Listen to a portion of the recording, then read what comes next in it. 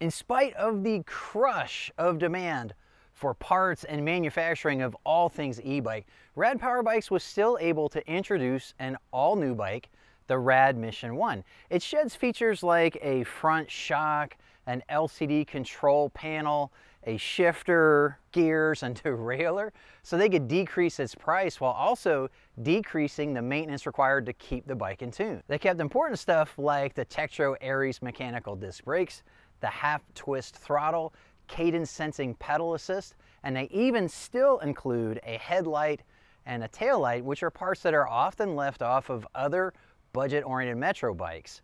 The fenders, the rack, and the kickstand that you see here are not standard with the Rad Mission 1, but I asked Rad Power Bikes to include them with this bike they sent me for evaluation because I figured that they would be very popular accessories chosen by buyers of this bike.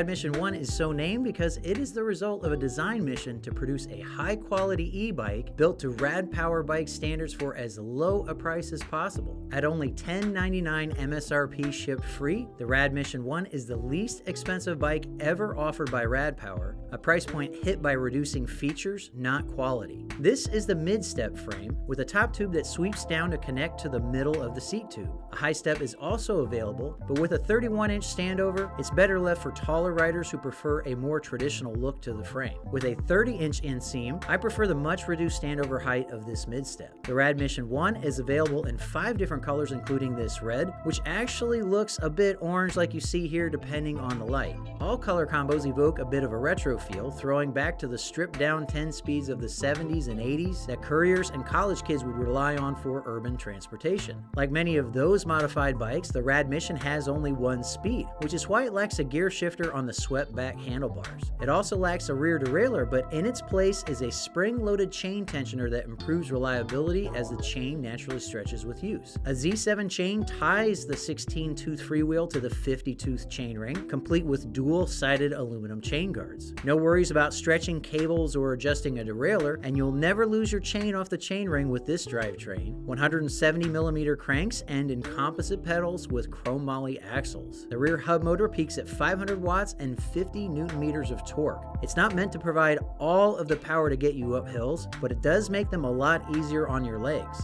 The 48 volt, 10.5 amp hour, 504 watt hour battery pack is made with Samsung cells, just like Rad's other battery packs. It is smaller and lighter than Rad's standard battery pack, but it still delivers 25 to 45 miles of range due to the 50 pound weight of the bike and the greatly reduced rolling resistance of its 27.5 inch by 1.95 inch Kenda Kontact tires. These tires still have the K-Shield puncture-resistant liners of the beefier Kendas found on other Rad Power bikes, but they're meant to operate at up to 65 psi. Generous rain grooves mean these have great traction in wet or dry conditions, just as you'd expect for a commuter bike designed in the Pacific Northwest. Power is controlled by a no-frills LED control panel. Indicator lights show battery level, pedal assist setting, and whether or not you have your lights on. An upgraded LCD panel is available for those who want more info like current speed and total miles ridden, but I think most buyers will be perfectly satisfied saving the $99 by sticking with the stock control panel. Rubber grips replace the synthetic leather grips found on other Rad Power bikes, but I think many will find them to be both grippier and more comfortable. A half twist throttle is tucked into the right grip, giving you access to full power when you need it regardless of the pedal assist setting. The battery powers a standard headlight and tail light, which also functions as a brake light when either brake lever is pulled. The brake levers also have integrated motor shutoff switches, cutting power to the motor to ensure the brakes don't have to work against it regardless of the throttle position or active pedal assist. 180mm discs are grabbed by Tektro Aries mechanical brakes, a staple found across the Rad Power line. The Rad Mission 1 does not come with the kickstand shown here, but at only $15, I see it as an essential accessory for anyone who doesn't want to have to find a wall or a tree or a bike rack to lean their bike on before dismounting.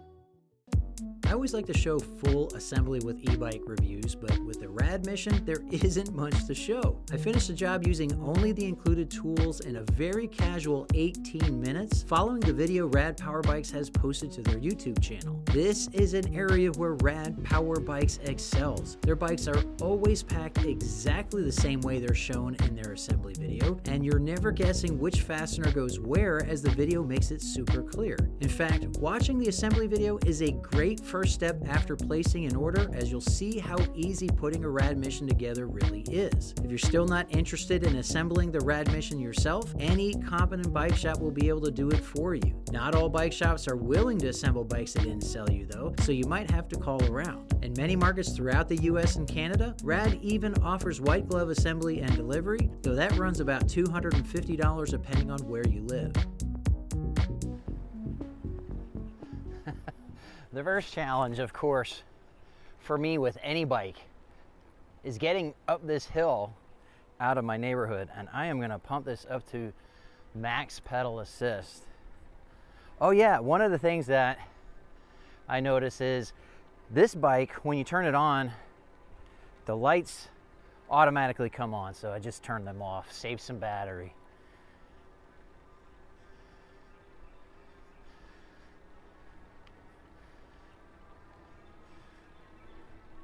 Yeah, no problem.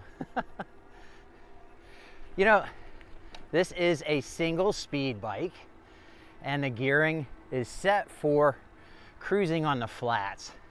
It's not set for climbing, but the 500 watt motor puts out 50 newton meters, and that's been plenty to help my legs get up hills like that.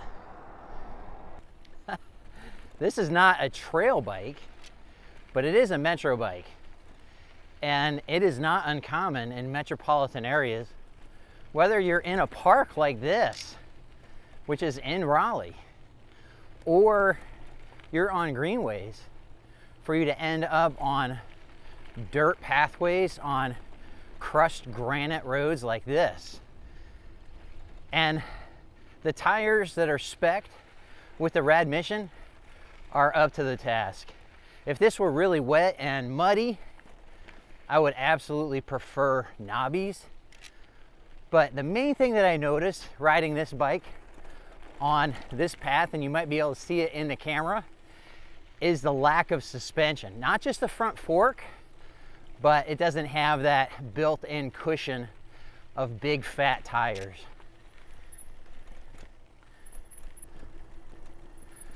The brakes are the always fine 180 millimeter Tektro Aries mechanical discs. Yes, hydraulic brakes are better brakes, but I've been riding multiple e-bikes, not just rads, with these exact same disc brakes, and they are more than adequate for the vast majority of riding that anybody's gonna do on a bike like this. Oh, I'm gonna get some throttle. Full throttle gives you full power from the motor no matter what your pedal assist setting is.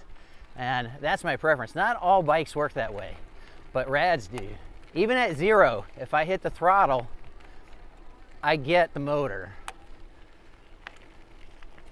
But I'm gonna set this to pedal assist two. I've got these tires inflated to 45 PSI. They go to 65 PSI max pressure. That would be for if you're trying to get a lot of range out of the battery and you are on pavement. It's also smart to really pump up the pressure if you're dealing with things like potholes because that helps you to avoid pinch flats from the tire basically collapsing down onto the rim when you hit something hard like a like the edge of a pothole. But 45 psi, it's still firm it still gets me good range out of the battery, but it gives me a little bit more cushion. It gives me a little bit more traction in looser terrain like this. One of the things that is really amazing about this bike is how quiet it is. The motor is so quiet, even compared to Rad's 750 watt peak motor. It's really, really quiet compared to the 750 watt motor that's in other brand of e-bikes. Additionally, because the chain isn't running through a derailleur, it's running through a chain tensioner. But it doesn't have to get pushed across different cogs in the back. And so the sprocket in the back has only standard teeth. It doesn't have any chain lifting teeth or chain dropping teeth, which have to take up some of the teeth in a cog set in a freewheel in the back when you're going to be shifting from one to the other. And those tend to be a little bit noisy even when you're not shifting. This doesn't have any chain noise. All right, here's where I would be downshifting, but instead I'm just gonna grab some throttle. And while my turnover, my cadence isn't as high as I'd like with my legs, the motor takes a lot of the pressure off of my knees and it actually makes this quite comfortable. The combination of the surface and the climbs on this part of my test route is beyond what most people are going to be doing with this bike, but it's really neat to see that it can handle it. I wasn't so sure about the polymer pedals, but the teeth on them actually grip into the soles of my shoes way better than the metal teeth on the Wellgo pedals that are normally spec'd on e-bikes. The Kenda Kontact tires are definitely pavement oriented, but they still have the puncture resistant K-Rad liner, I think is what they call it, that will really help resist flats from sharp rocks and gravel and other little pokey things that I might run over on this trail. I asked Rad Power Bikes to ship this bike that they sent me for demo with the fenders and the rack because I knew that they would be popular options, not necessarily in combination, but individually or in combination.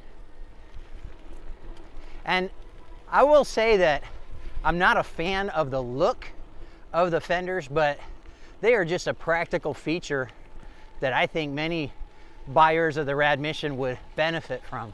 They're not gonna just protect your legs from puddles, from splashing, but on a trail like this where it's actually dusty, it helps keep the dust off of your pant legs, off of your socks, out of your shoes. It's actually uh, an often ignored benefit of having fenders. Yeah, so even in loose stuff like these pine needles, these tires are just fine. They don't dig in like knobbies, but it's not like I'm riding on ice or anything like that. Now we're coming on to what this bike is really optimized for. This is the majority of what you're gonna see for metropolitan riding, some kind of pavement. This is a greenway, so it's designed for bicycles, roller skates, roller blades, runners, people walking their dog. This is a bit of a grind of a climb, but I've got it in level two pedal assist, not having any issues. My legs are working, but not really hard. I'm intentionally trying to take this casually as if I were wanting to go into work and not be sweating. The grips on this bike have the same basic shape as the synthetic leather grips that are on other rad power bikes and on a lot of e-bikes in this price category. But they're rubber, they're, they're grippier and I might even say they're a little bit more cushioned. It's a, it's still a hard rubber, but it is rubber. The LED control pad doesn't have a readout for speed or odometer, but I rode bikes for decades without that. And even towards the end there, when I did have a speedometer and odometer, I had to put it on myself. The bikes didn't come with that. So I don't really miss that because I'm not doing this to, to see if I can get my speed up, my average speed up over the same course after repeated runs like I did 20 plus years ago when I was racing Ironman distance triathlons. It's just not the kind of riding that I'm doing at all anymore. This is the kind of thing where I really notice the 50 pounds of this bike versus 70 pounds of other e-bikes that I ride a lot. It's really sporty in how it feels compared to them. 50 pounds is still heavy for a bike, but it's not too bad for an e-bike at all. I also noticed that even though this has a giant battery on the down tube, I get less looks of any kind riding this than I do riding a fat tire e-bike. People will look at me like I've got a third eye or like I'm riding a motorcycle on their walking path. Okay, so now we're gonna bump this up to level four pedal assist. Again, this is headwind, but we're on the road. Right there's 20 miles an hour. I could feel the power gently coming off as I get close to what's probably 20 miles an hour. And then when I slow down, the power gently kicks back on. That's another thing that I like about how Rad Power Bikes has their pedal assist program. It's not a sudden stop to the power when you hit your max speed, and it's not uh, an unexpected kick in the pants when your speed drops down to where pedal assist kicks back in.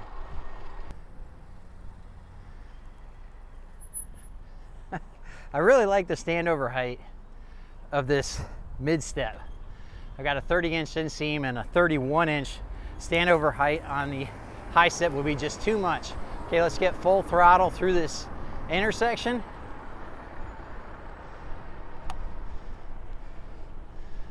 Easy day. Coming up on a speed bump, I'm gonna actually slow down because this has no fork. Oh, guess I'm gonna get passed by that guy.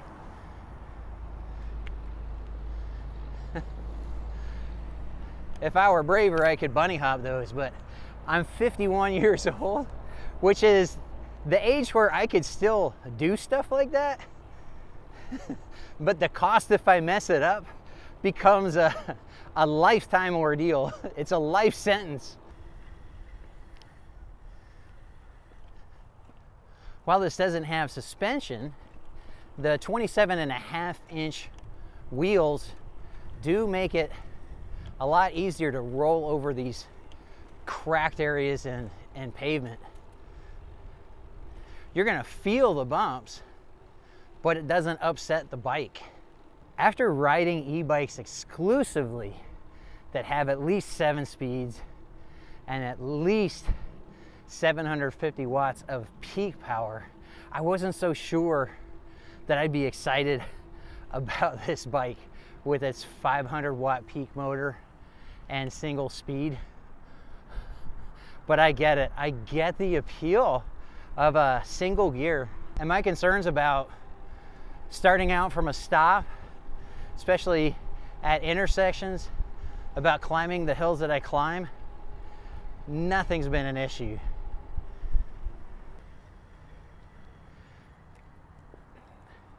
The other thing I like about the mid step is it does have a top tube.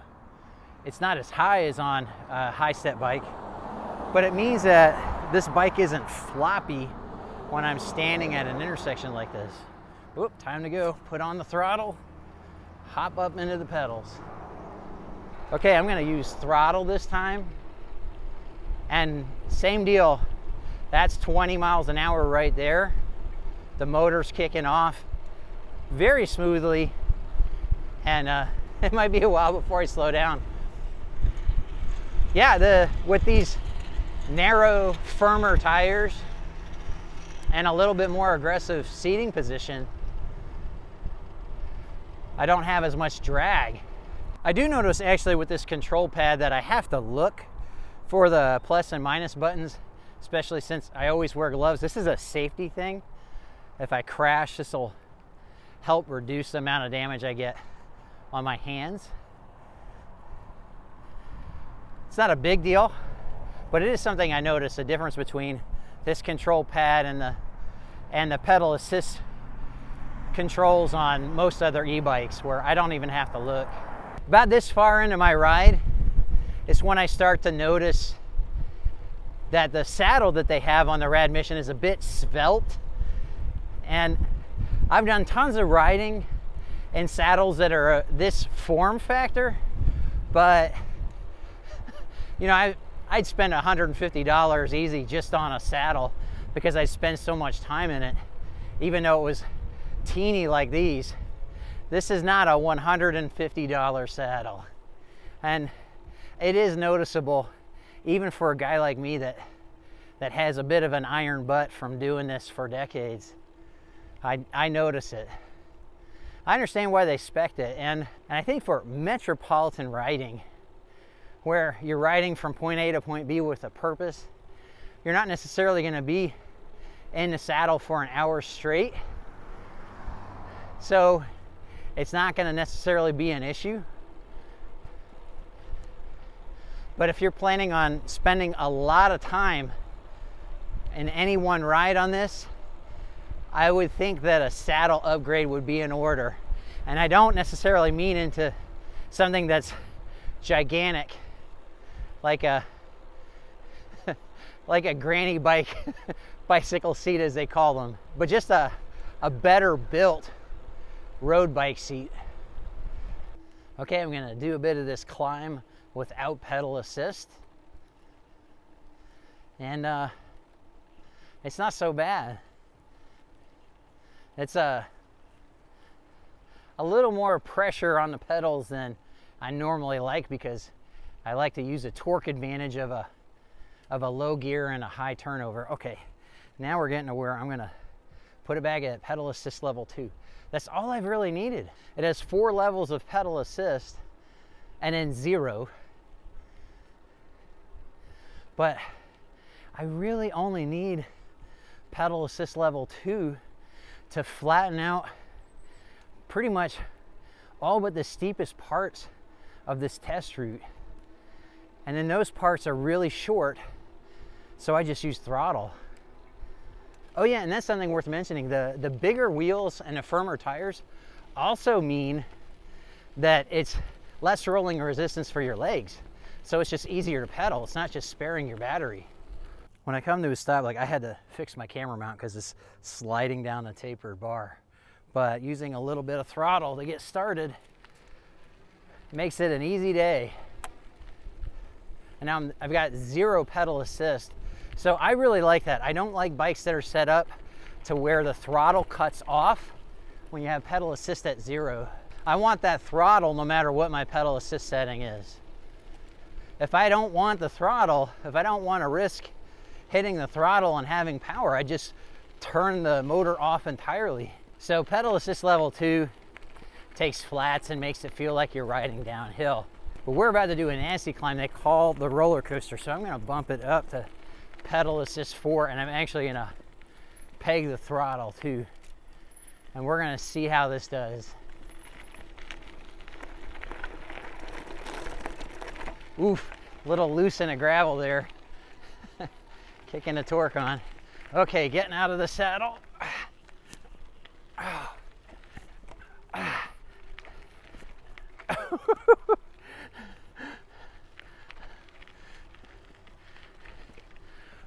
Yay, I did it! Oh my gosh. That's crazy. No, this bike is not meant for a climb like that or this. Whew. Last hill, my driveway which is also steep. Full throttle, not getting out of the saddle, don't need to. Going slow, but it's a successful climb. and I say that Rad made a successful bike. One of the ironies with the Rad Mission 1 is while it only took me 18 minutes to assemble the bike, it took me about 90 minutes to put on the fenders and the rear rack. The rear fender requires you to remove the rear wheel in order to get to some of the mounting locations. And the hardware locations for the rear rack are in places where it's a little hard to twist an Allen key and you're just doing these little twists at a time.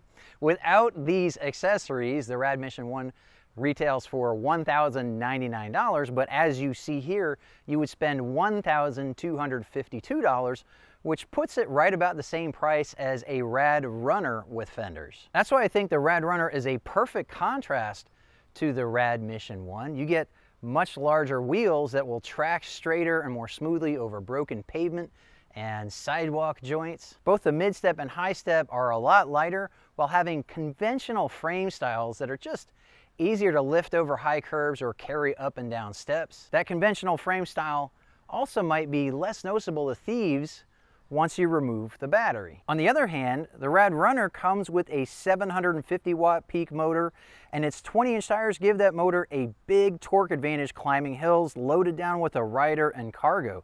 Both bikes are available with a myriad of accessories, but the Rad Runner has a few more options for carrying cargo if that's your priority. Price is a big reason behind the popularity of the Rad Runner, so it's no surprise to me that Rad Power Bikes would want to offer people a completely different option in the same price category when configured apples to apples. The benefit with the Rad Mission though is that you can skip the fenders, you can skip the rack, you can skip the kickstand and save a few hundred dollars. Like all Rad Power bikes, the Rad Mission 1 is backed by a one year warranty and you even get a 14 day free trial to try it out. If you're interested in buying the Rad Mission 1 or anything from Rad Power Bikes, please start your shopping with the link that's in the video description and pinned in the comments below. It'll support the channel when you do. Be sure to subscribe for more videos on e-bikes like the Rad Mission 1. I really appreciate you watching the Tech of Tech and hope to see you next time.